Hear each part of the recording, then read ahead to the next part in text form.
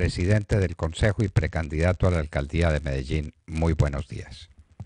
Buenos días, doctor Fernando, no me preocupe.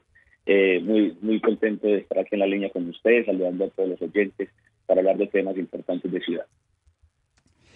Bueno, doctor Jaime Mejía, una campaña como estas enriquece a la ciudad, porque la ciudad es capaz de valorar a través de ella sus problemas, de profundizar en ellos y de mirar cuáles soluciones tengan sus problemas. Pero también enriquece al candidato, porque usted está continuamente en compañía de la gente y no hay nada que enriquezca más que el parecer de las personas que uno aspira a gobernar. ¿Cuál es el resultado de esa campaña suya en ambos sentidos, doctor Jaime Mejía? Bueno, doctor usted lo acaba de decir. Yo creo que hoy la política moderna y, la nueva la nueva metodología de la política de hacer en las calles, hablando con el ciudadano uno a uno, escuchándolos, cuáles son las mayores preocupaciones que ellos tienen y, y, y también contándoles a ellos qué estamos pensando y qué cuál es la visión de ciudad, para que cada, cada vez vamos perfeccionando mucho más la propuesta que tenemos hacia Medellín para gobernar y obviamente interpretar las necesidades de cada uno de los ciudadanos. Hoy nosotros tenemos una campaña que la hemos hecho en las calles permanentemente y la hemos, la hemos mencionado las 120 horas continuas en Medellín. Desde el jueves pasado estamos en la calle, caminando uno a uno, caminando más de 16 horas diarias, dándole la mano a la gente. Nos hemos quedado sin voz y, agotados con los pies, pero el, los, los resultados que hemos obtenido han sido maravillosos. La gente nos ha recibido demasiado bien. La gente cuando uno se presenta como precandidato del Centro Democrático, inmediatamente dice, sí, es con Uribe, eh, sí. Y eso le llena a uno de, satisfacción, porque indudablemente Medellín y Antioquia sigue vibrando con el uribismo y sigue, y sigue vibrando en una, en una política de seguridad, de cohesión social, de confianza inversionista, y es ahí donde nosotros hemos enfocado también nuestra propuesta de, de trabajo y de gobierno para activar el desarrollo económico de la ciudad para poder fortalecer más de 97 mil empresas que hoy hay en la ciudad de Medellín y que tenemos que seguir creciendo, porque doctor Fernando uno camina a los barrios de la ciudad y hay una cantidad de pequeñas empresas y empresarios que aún no están formalizados y que generan 7, 8, 10 empleos que son personas del mismo sector el desarrollo económico, para mejorar las condiciones de vida y por eso nosotros estamos proponiendo en esa línea crear un fondo de 280 mil millones de pesos para crear créditos a largo plazo, a bajo interés y creando unas elecciones tributarias de cinco años, en los cuales los dos primeros años no van a pagar un solo peso en nuestro comercio el, tercer año van a pagar el 30%, el cuarto el 60% y el quinto el 100% cuando ya estén totalmente constituidos, formalizados y empoderados. Y ligado a eso, con la Secretaría de Desarrollo Económico, vamos a hacer un acompañamiento permanente para que les hagan eh, eh, asesorías administrativas, jurídicas y contables y poder hacer con las grandes cadenas empresariales unas ruedas de negocios que se lleven a llevar una política pública de cadenas de proveedores que fortalezca la dinámica económica de la ciudad de posibilidades de empleo, mejoran las condiciones de vida de la ciudad y obviamente esto va a eh, repercute en las condiciones de seguridad de la ciudad de México. Entonces, en ese orden de ideas, hemos venido hablando con la ciudadanía y la ciudadanía también nos ha contado cada una de sus preocupaciones y gracias a eso cada día perfeccionamos más nuestras propuestas. Doctor Jaime Mejía, mm, estamos todavía con el impacto para nosotros positivo, pero para otros, como para el presidente de la ANDI, horroroso, está escandalizado, porque se le puso un arancel a los eh, productos que compiten directamente con la gran mayoría de esas empresas de Medellín, en textiles y confecciones. Medellín es un inmenso productor de ellas a partir de esas pequeñas empresas que usted eh, menciona. Y resulta que hubo que ponerles arancel a unos productos que vienen de la China o que vienen de Bangladesh con eh, trabajo cautivo, trabajo esclavo, remunerado en condiciones infames que vienen a competir con los productos de Medellín. Pero no solamente eso, con las eh, importaciones que llegan legítimamente, sino con el contrabando que sigue siendo una verdadera plaga a horcajadas del otro proceso maldito que es el proceso de cocainización en Colombia. Nos estamos convirtiendo en, en un mundo de cocaína. Su observación sobre este tema vital para todas esas empresas de Medellín de la que depende el porvenir de la ciudad. Medellín se ha caracterizado por ser una, una ciudad em, emprendedora y que el gremio textil ha jugado un papel determinante en el crecimiento de la ciudad y el desarrollo. Es muy importante seguir respaldando y apoyando a estas empresas para poder que, que, sigan creciendo. Además, porque son muchas las madres casas de familia que dependen de este sector. Uno también ve una cantidad, doctor Fernando, de personas y de madres de cabezas de familia que trabajan en los barrios de Medellín maquilándole a muchos de estos a muchas de estas empresas textiles. Y es ahí donde nosotros tenemos que empezar a fortalecer. Hay, a mí me parece un tema muy grave lo que usted, como usted lo acaba de mencionar el tema del contrabando pero algo mucho más grave doctor Fernando es el lavado de activos. Aquí no ha existido ningún gobierno que le haya metido la mano con toda la vehemencia para poder atacar el lavado de activos porque están mandando, como usted lo acaba de decir, mandando la droga para China y la están devolviendo con zapatos. Y eso se mezcla entonces entre la legalidad y la ilegalidad, porque uno no sabe que esos zapatos que llegan hacen parte de, la, venta o el pago de, la cocaína que están vendiendo, eh, enviando para la China. Además, que aparte de eso, que Colombia está nadando en, en cocaína gracias al gobierno anterior, pues lastimosamente afecta también la, la seguridad de la ciudad porque Mire hoy los incrementos de, homicidios que hay en la ciudad de Medellín, producto del dominio territorial que hay en el costado occidental de la ciudad, que es el corredor estratégico para sacar la droga y las armas en la, ciudad de Medellín.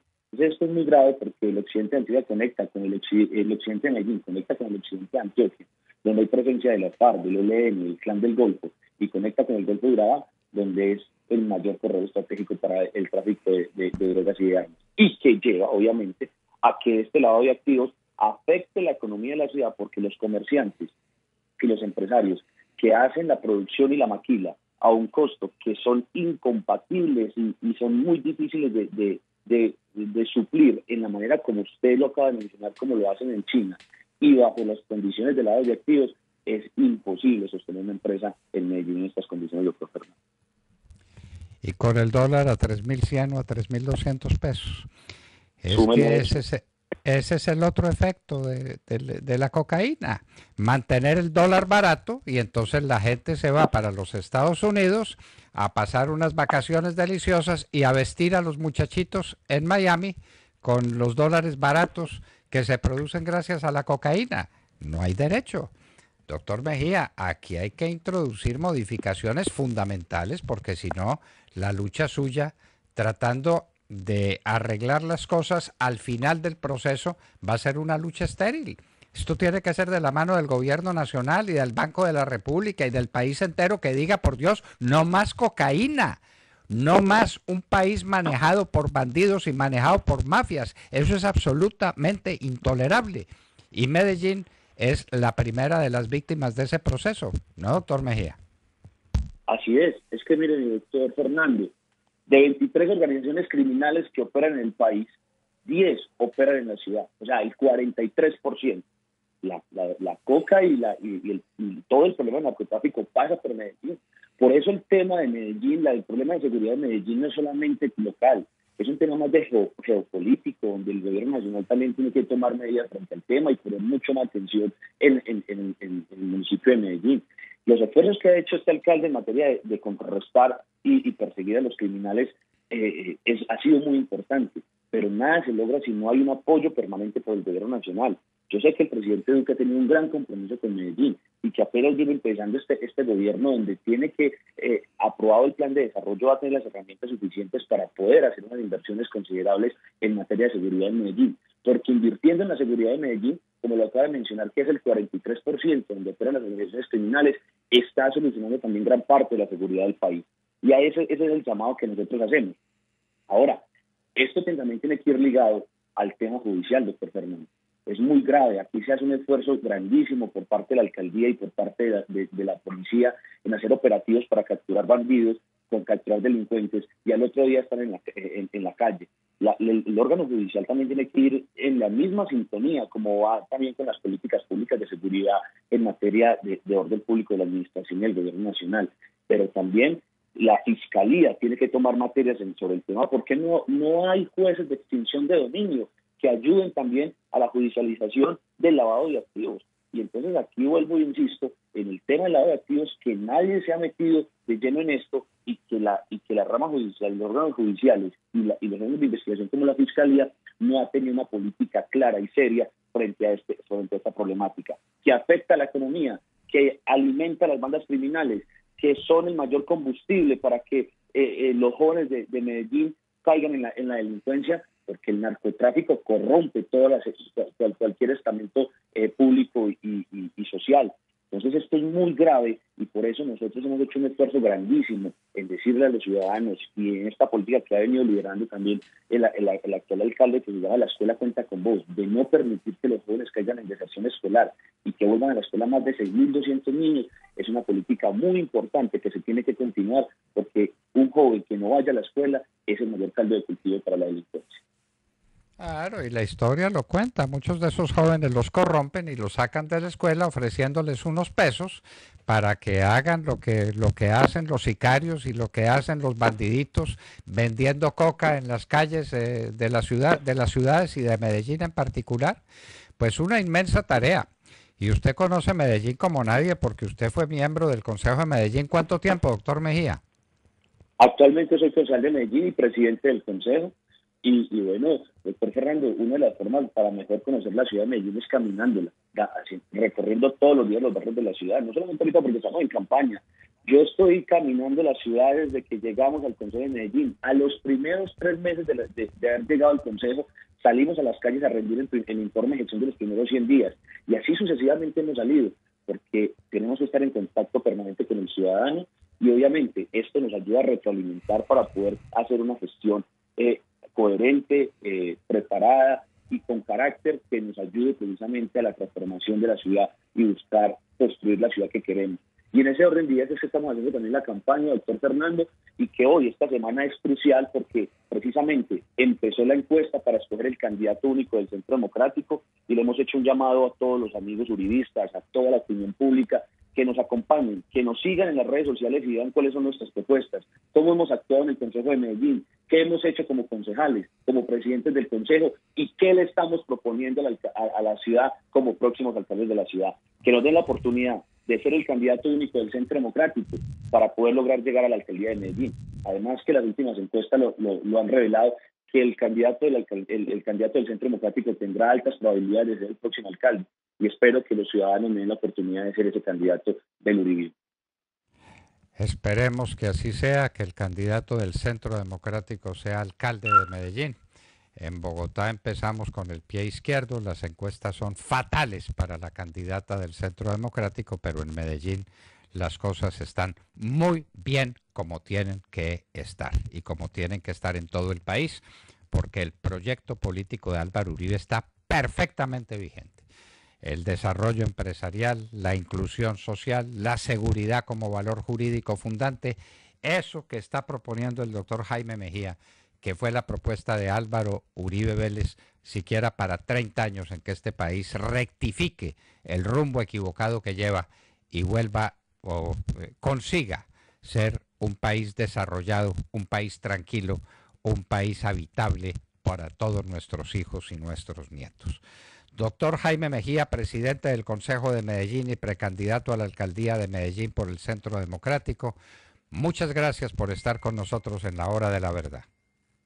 Doctor Fernando, muchas gracias por, por abrirme sus micrófonos y estoy siempre listo para trabajar, para llevar las banderas del uribismo, para unificar el partido, porque tenemos que trabajar buscando la unidad de los militantes, la unidad de los sectores políticos, la unidad del Centro Democrático y de otros sectores que ayuden precisamente a materializar que el Centro Democrático logre tener alcalde de Medellín. No solamente pensar en una candidatura, es pensar que logremos la alcaldía de Medellín y para eso necesitamos el concluir con todos los sectores sociales, políticos, no solamente del Centro Democrático, sino también no solamente al interior del centro democrático, sino también con otros sectores distintos al centro democrático.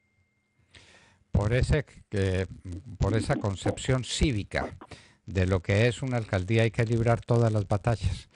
Le cuento una anécdota que llevo en el fondo de mi corazón.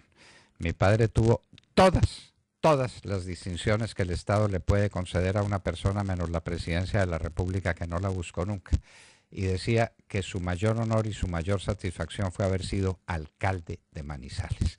El alcalde de Manizales es el jefe de una sociedad, de una comunidad. Es el, eh, representante por excelencia de las virtudes de un pueblo y también el conocedor a fondo de sus inquietudes, de sus dificultades. Más importante que ser alcalde, no hay nada.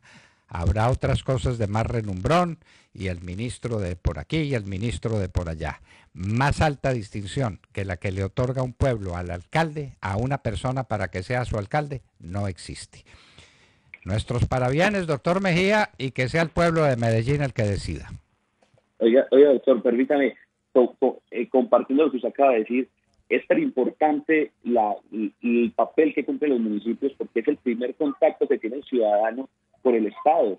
Y precisamente pues, dentro de la Constitución, el régimen municipal es el, lo que le da claras funciones a los municipios para materializar las políticas del gobierno nacional y también poner en marcha el contacto permanente con el ciudadano. Por eso existe hoy un régimen municipal y no existe claramente un régimen departamental que es eh, algo muy más, más efímero y que no tiene unas funciones claras a, nivel de, funciones con, el ciudadano. Eh, ser alcalde de Medellín es la más alta dimensión y eso lo comparto con usted. Doctor Jaime Mejía, presidente del Consejo de Medellín, precandidato a la alcaldía por el Centro Democrático, muchas gracias por acompañarnos en la hora de la verdad. Gracias, doctor.